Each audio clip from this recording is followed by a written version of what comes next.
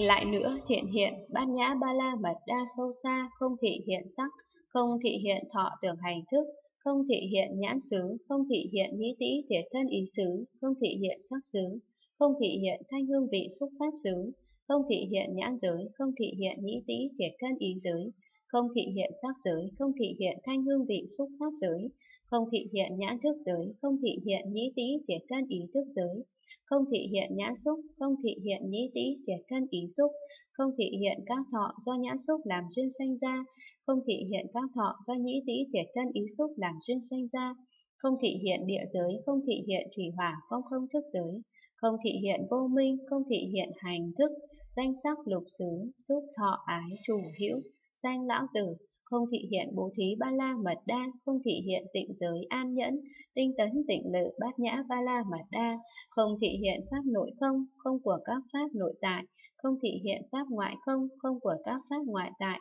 nội ngoại không, không của các pháp nội ngoại tại, không không, không của không, đại không không lớn thắng nghĩa không không của chân lý cứu cánh hữu vi không không của các pháp hữu vi, vô vi không không của các pháp vô vi, tất cánh không không tối hậu rốt giáo vô tế không không không biên tế, tán vô tán không không của sự không phân tán bản tính không? Không của bản tính tự nhiên tính, tự cộng tướng không? Không của tự cộng tướng. Nhất thiết pháp không? Không của vạn hữu. Bất khả đắc không? Không của cái bất khả đắc. Vô tính không? Không của vô thể, cái không tồn tại. Tự tính không? Không của tự tính. Vô tính tự tính không? Không của vô thể, của tự tính. Tự tính của cái không tồn tại không thị hiện chân như, không thị hiện pháp giới pháp tánh, tánh chẳng hư vọng, tánh chẳng đổi khác, tánh bình đẳng, tánh ly sanh, pháp định, pháp trụ, thật tế, cảnh giới hư không, cảnh giới bất tư nghỉ, không thị hiện thánh đế khổ, không thị hiện thánh đế tập diệt đạo, không thị hiện bốn tịnh lự, không thị hiện bốn vô lượng, bốn định vô sắc, không thị hiện tám giải thoát, không thị hiện tám thắng xứ, chín định thứ đệ, mười biến xứ không thị hiện bốn niệm trụ, không thị hiện bốn chánh đoạn, bốn thần túc, năm căn năm lực, bảy chi đẳng giác, tám chi thánh đạo, không thị hiện pháp môn giải thoát không, không thị hiện pháp môn giải thoát vô tướng vô nguyện, không thị hiện tịnh quán địa, không thị hiện trùng tánh địa, đệ bát địa, cụ kiến địa, bạc địa, ly dục địa, dĩ biện địa, độc giác địa, Bồ Tát địa, Như Lai địa, không thị hiện cực hỷ địa, không thị hiện ly cấu địa, phát quang địa, diệm tuệ địa, cực nan thắng địa, hiện tiền địa, viễn hành địa, bất động địa, thiện tuệ địa, pháp vân địa, không thị hiện năm loại mắt, không thị hiện sáu phép thần thông, không thị hiện mười lực của Phật, không thị hiện bốn điều không sợ, bốn sự hiểu biết thông suốt,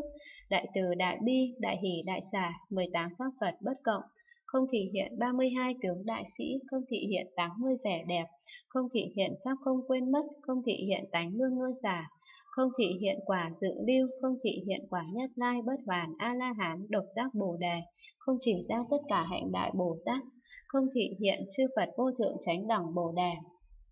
không thị hiện sự chuyển bánh xe diệu pháp, không thị hiện việc độ là hữu tình, không thị hiện nghiêm tịnh cõi Phật, không thị hiện thành thục hữu tình, không thị hiện tất cả môn đà la ni, không thị hiện tất cả môn tam ma địa, không thị hiện trí nhất thiết, không thị hiện trí đạo tướng, trí nhất thiết tướng. Vì sao thiện hiện?